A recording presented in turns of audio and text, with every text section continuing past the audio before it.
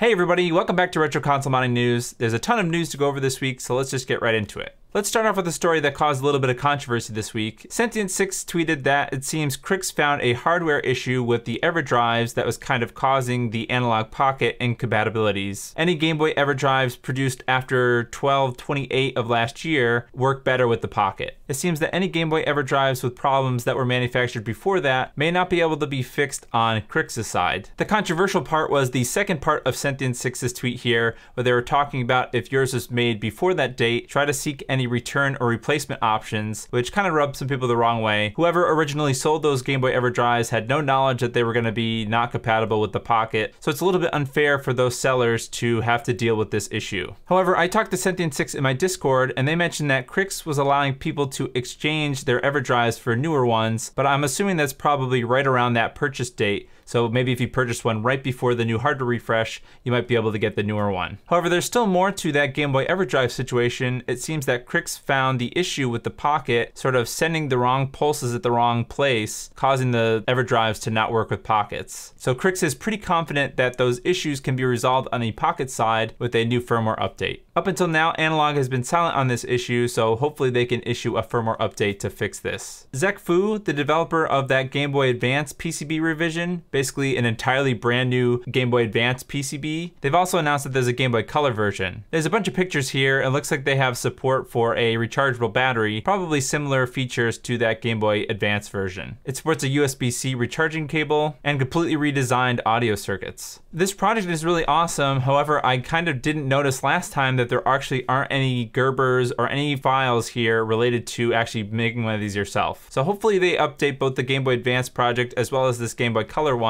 so that people can actually start producing these for themselves if they want to. Unless their plan is to hold off and maybe sell them themselves, you know, that's understandable, but they haven't announced one or the other. Speaking of Zekfoo, Zwenergy, who is the creator of the GBA HD Game Boy Advance consolizer, they posted on Twitter that Zekfoo has a GBA HD all-in-one shield. This project is absolutely ridiculous. It seems like it's an GBA HD shield that goes on top of that Spartan FPGA board, but it uses components of a Game Boy Advance. So you literally have to desolder some chips from a real Game Boy Advance PCB, put it onto this shield, and then essentially you don't have to solder or attach any flex cables to anything. This top shield part here has everything, the controller ports, the cartridge slot, the Game Boy Advance CPU, and all the ports, and it just interfaces directly with that Spartan FPGA board. There is a pretty lengthy bill of materials here so this is definitely squarely in super advanced modding territory. I don't think you're going to be modding one of these yourself unless you have a lot of time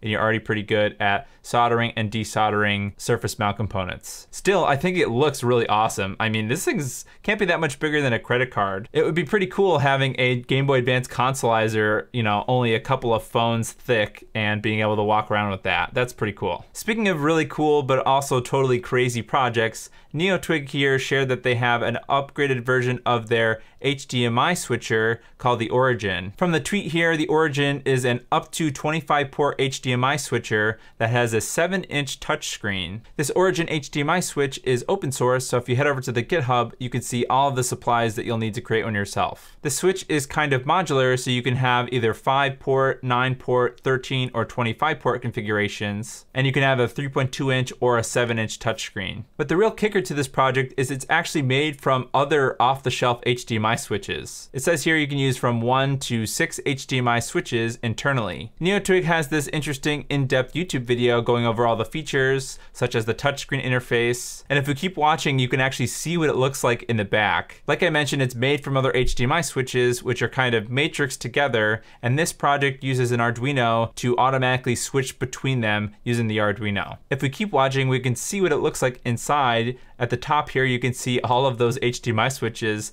and they're all being being routed to both the touchscreen here as well as the Arduino inside. My initial reaction to this project was kind of who the heck needs this? But then I realized that I actually have HDMI switches going into other HDMI switches right up here. So it doesn't really seem that crazy to just have a bunch of HDMI switches kind of matrix together. I would totally try this project except for that 7 inch touchscreen 25 port model. The bill of materials costs over $500. We'll have to see if the cost of these parts goes down over time because I'm actually very interested with the amount of HDMI mods that I've got in the cabinet over there. Next, let's talk about FragolRoc and his SNES to CDI controller adapter board. If we head on over to the GitHub, we'll see that this is actually an implementation of this other original project here. This project uses an Arduino to basically just switch the inputs between a SNES controller and a CDI. However, the original project is just a wiring diagram basically showing that you can wire a SNES controller connector to the Arduino and then out to a CDI. It doesn't really have any physical implementation. That's where Fragol's project comes in. He's created a little PCB that has the SNES controller mount as well as the CDI controller mount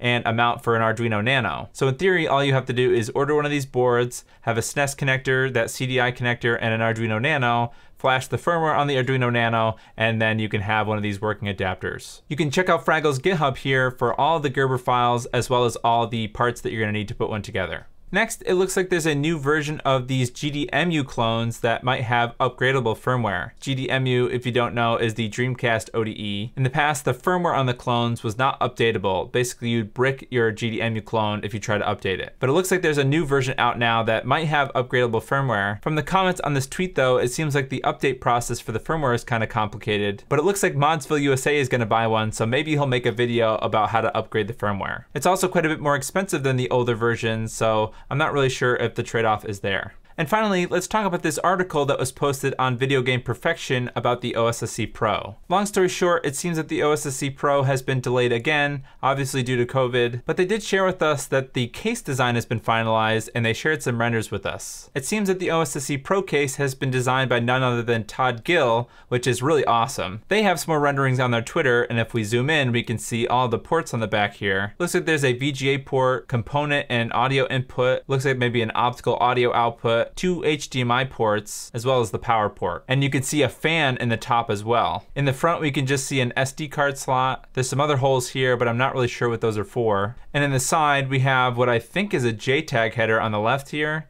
as well as a SCART connector. So far, I'm a fan of this design. It's just a black box and it doesn't need to be more complicated than that for me. The rest of the article goes through comparisons of the OSSC Pro and the RetroTink 5X as well as the Morph, but there's no real specifics there other than the OSSC Pro is using newer FPGAs compared to the RetroTink 5X, and I'm assuming the Morph as well. I think it's a little bit too soon to talk about comparisons, especially since the RetroTink 5X is the only one of those three that's currently available. But I'm curious curious what you think. Did you buy a RetroTink 5X Pro already? Or are you holding off for either the Morph or the OSSC Pro?